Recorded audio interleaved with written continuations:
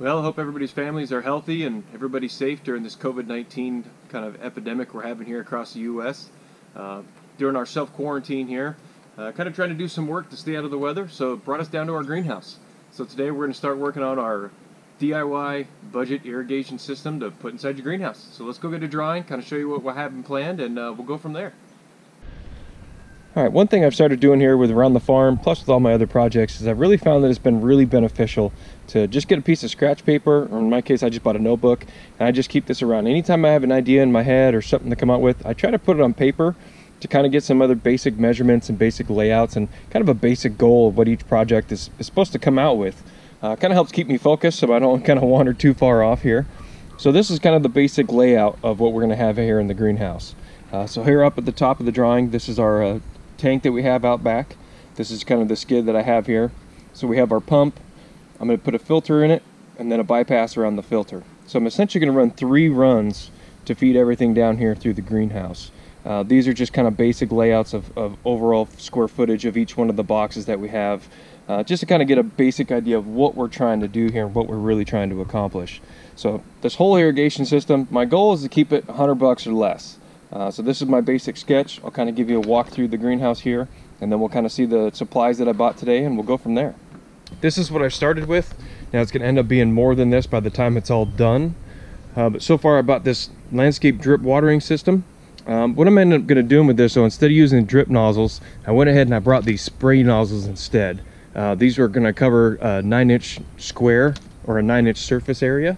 Uh, so that's what I'm hoping it should be enough and we'll kind of add the fittings as we need it. Uh, right now with the 100 feet of hose, which should be enough to do all of the beds, and this landscape kit and these nozzles, I'm into this right about $45 right now. Um, so again, as I go, I'm gonna need more nozzles and kind of get the layout with my wife and what she's planning on planting and things like that. So as we go, I can add on to this system, uh, but that's where I'm starting. So let's kind of start getting this thing laid out and get going. And here's another one of those reasons why it's good to have a sketch. Uh, as I've been going here, initially what I was going to do is I was going to run a, a, small diameter tube down the center of each one of these and then have the sprinkler systems kind of coming off of each one. And I started thinking to myself, you know what? Every year when I have to run my tiller, it's going to be kind of a pain. I'm going to have to worry about trying to break everything if all my sprinkler systems are in the way. So what I've kind of changed direction here and what I'm going to do is I'm going to take this larger diameter tubing and I'm going to run it down one side of each of these boxes. And then I'm going to tap the sprinklers coming out on the lines and just give them extra line on each one.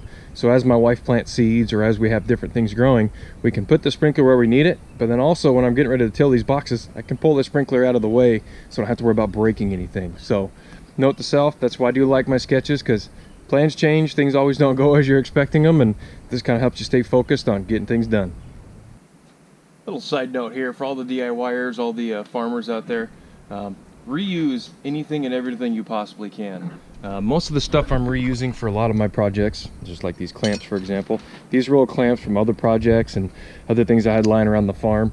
And that's what I'm using to attach all this irrigation piping along these beds. Uh, all the screws that I'm using are all from other projects. Uh, all the wood that's around this right here for my trellis for my tomatoes the trellis was an old one that was attached to the house that was falling apart. I chopped it down to make it fit.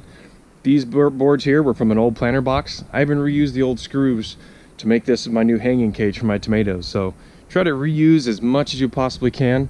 Uh, don't waste anything. It saves money and it's just not as wasteful. So reuse as much as you possibly can for as many of your projects. So it came with this little puncture tool here to install these sprinklers. So what I'm thinking about doing here is since these sprinklers do have a little bit of a lead to them, is if I put one sprinkler here and one sprinkler here, they can kind of come out. So we can plant, kind of like we have now, we can probably plant three jalapenos, peppers, whatever we decide in here. And these sprinklers are supposed to cover a 9 inch area. This is a 22 inch box. So they're going to cover a good area right here of water, so that should be pretty good with both of these in here.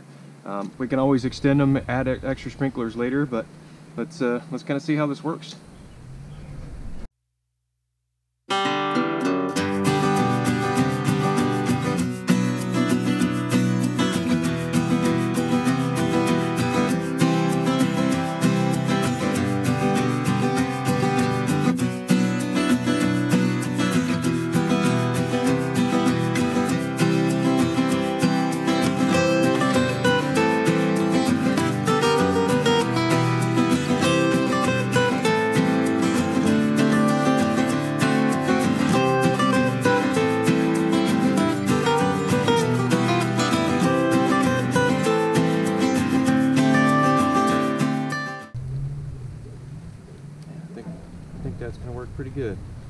See once we get everything planted, we can kind of make small adjustments as needed, but pretty happy so far with what it's looking like. So let's continue on down here and we'll get the rest of them done.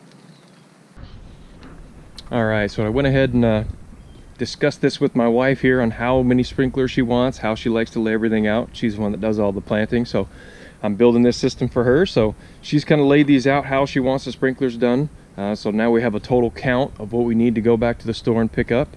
Uh, I have a list of some tubing, some extra fittings, a couple other things to finish up here. So uh, again, my goal is $100 or less. So I will keep a rolling tally of everything as we go here. Uh, the few extra fittings I need, I'm going to take back and exchange. So hopefully I can give you a real kind of an idea what this whole system is going to take. Um, and then when I'm done, I'm going to go ahead and I'll put together a total square footage that this is covering as well. Um, I know sometimes videos, when you're watching people's videos and you're trying to do it for yourself, it's kind of hard to really gauge it. So um, I'll do what I can to really make it a, a, real square footage total use, how much water we're actually getting out of here, where it's going to be covering, um, and kind of go from there. Uh, well, thanks for sticking around for the video. Uh, if you enjoyed it, hit that like button. If you really enjoyed it, want to see how the project finished out, hit that subscribe button, and I'll see you around.